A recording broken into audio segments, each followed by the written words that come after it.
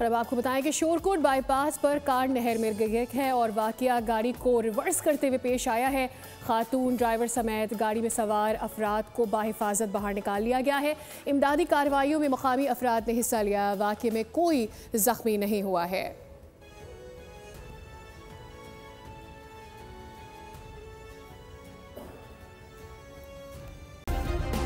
Subscribe करें और bell दबाएँ ताकि कोई खबर रह न जाए।